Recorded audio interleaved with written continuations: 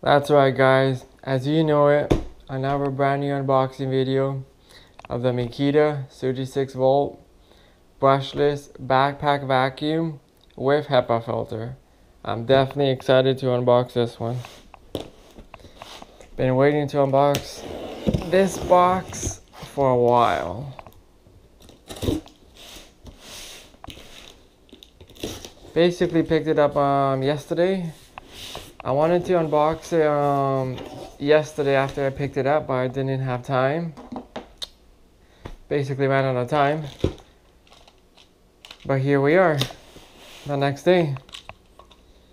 And it comes with your little floor attachment. And it comes with your pipe, extendable pipe.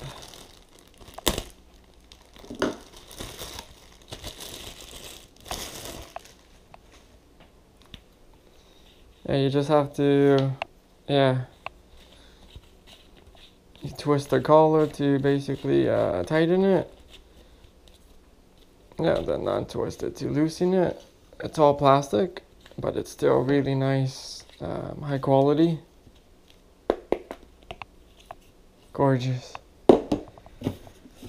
And here's a unit itself let's get the hose out first. Here's your hose. Uh, the hose itself, it's uh, really nice commercial grade quality. The handle part is also pretty nice. Here's your clip so that it attaches to your um, belt, your backpack harness belt. So you don't have to hold uh, the hose the whole time.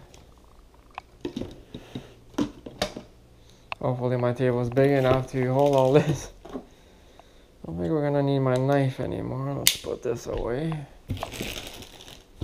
Um, yeah, here's a little corner type of accessory. Basically, does it go on here or does it go on here? Yeah, I believe it goes on here, this end. Yeah, and it's good for like your corners and whatnot. Just like that this guy goes here or he goes here.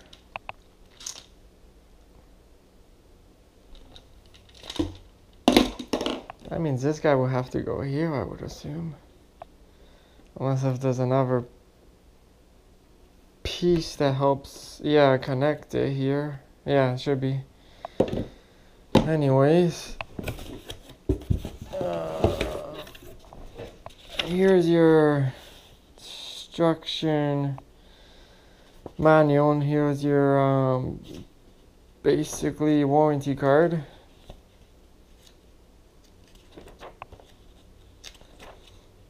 Now I do think it does include the HEPA filter pre-installed on the vacuum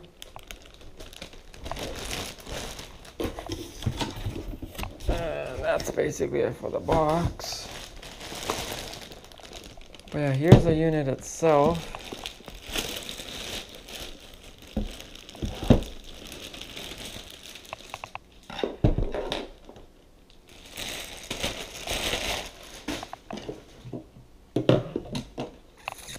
And here you go. Yeah, you get hopefully you guys can see you guys get a pre-installed HEPA filter and you guys get one bag.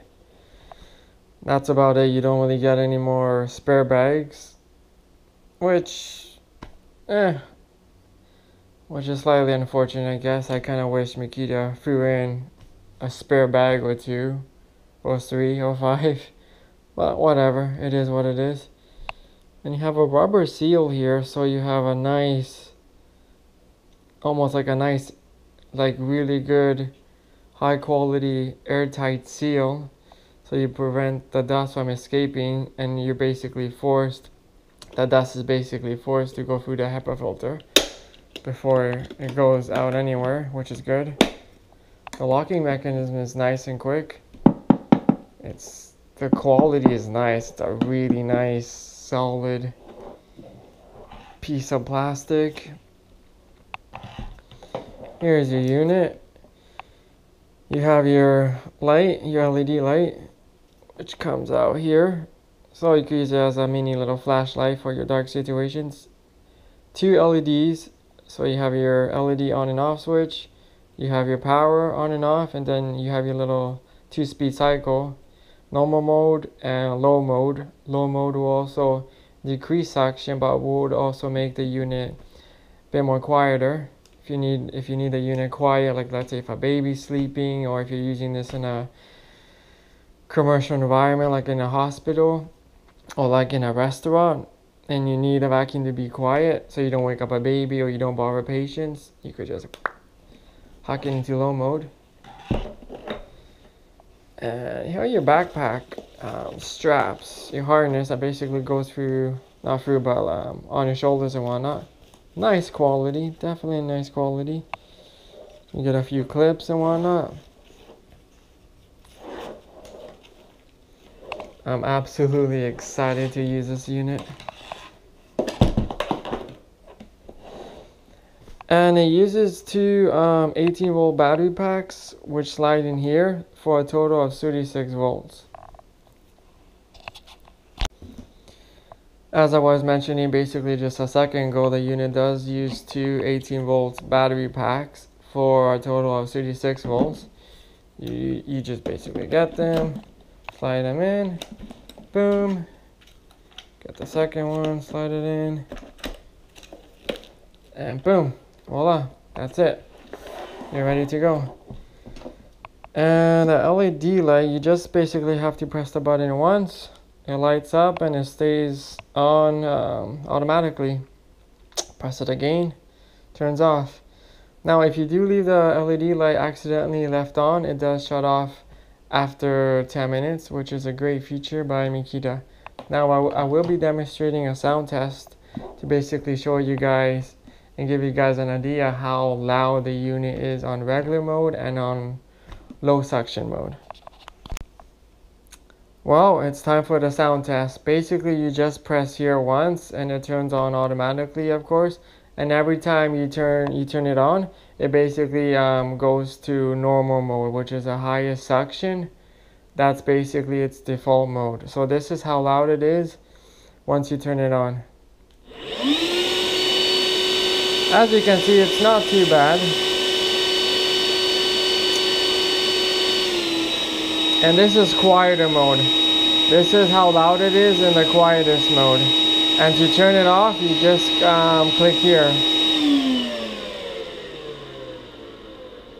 So, uh, as you were basically able to tell, the unit's not too loud. I wouldn't say the unit's whisper quiet, but it's not as loud as a leaf blower where you're basically going to be having to wear um, hearing protection as you vacuum.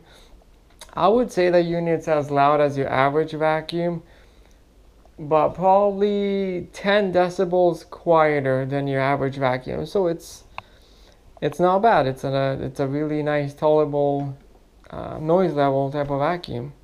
So it shouldn't really annoy you and be too too loud as you're vacuuming. Um, suction power is really, really great. Even on low mode, the suction power is still phenomenal. Um, absolutely great vacuum. I'm in love with it. I haven't vacuumed my house for like basically like a week, so I actually have an excuse to use this unit in a bit, which I'm dying to. Um, the battery packs apparently last for what is it? Um, I believe 90 minutes. It's advertised if you have the 5000 milliamps battery battery packs. Right now I'm using the 3000 milliamp battery packs. So on high mode, I should probably get about eh, 60, 50 minutes the whole time, which is which is more than enough. I have a three floor house and I should definitely be able to vacuum my entire house within 15 minutes. So that's phenomenal.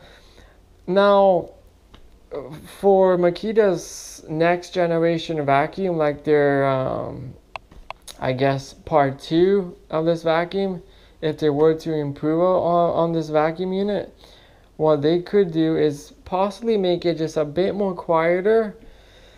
Um, as I was mentioning earlier, um, they only give you one bag.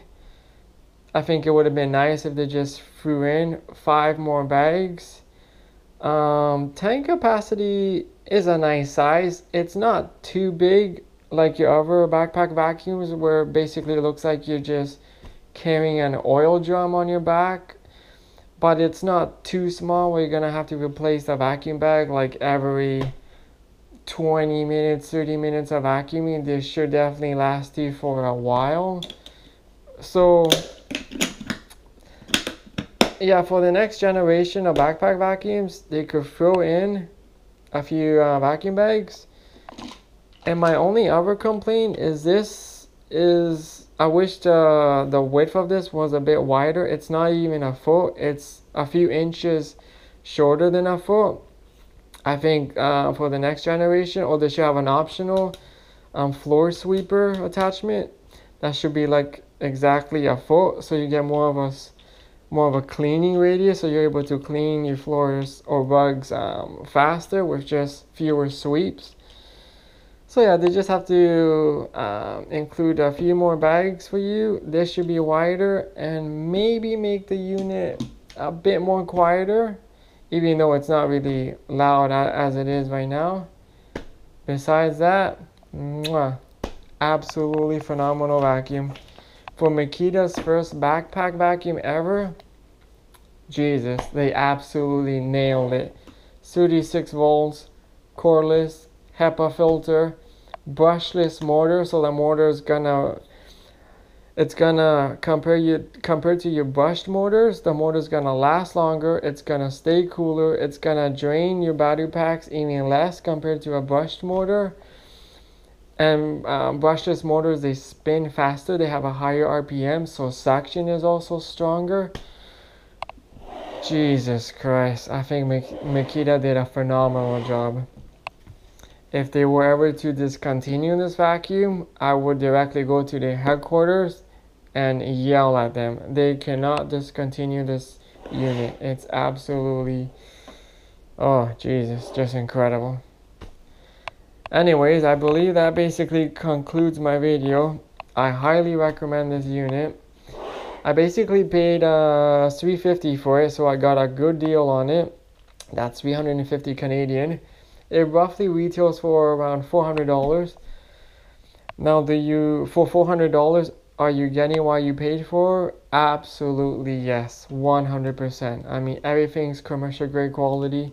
The cable here is high quality. Everything is just like you can't even break this stuff. Like you could try to break it. Yes, it'll probably break eventually, but if you drop it, huck it down, a flight of stairs or anything, I guarantee you it's gonna survive. But yeah, let me shut up now and let me just kill the video. Okay, thank you guys. Now at the beginning of the video, I did attach this um, rubber little corner piece the wrong way of the tube. You just basically put it here. You just have to basically jimmy it, just squeeze it in there and boom. That's how you properly insert it. But anyways, what I do actually want to show you guys. Now I have this other Makita cordless vacuum, which is absolutely phenomenal.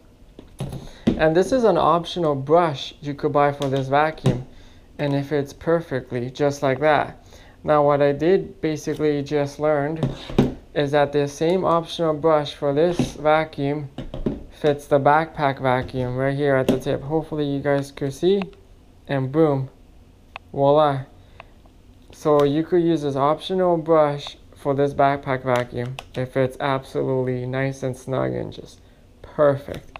This brush, you could get it on um, Amazon for only $5, so you can't go wrong. Another thing is, hopefully you guys could see, but the backpack here has a little um, strap here too, and that is to put your accessory here, just um, leave it hanging, just like that. Boom.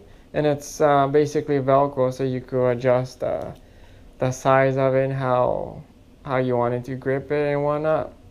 But also what I found out, if you do buy this accessory brush, it will also, you can also just store it here, like boom. And voila, just leave it dangling there and boom. There you go, two in one. So yeah, I definitely recommend uh, for you guys to go and pick up this brush for only $5 on Amazon for this unit and you can store it right here as I showed you a second ago. Voila. Alright, thanks guys.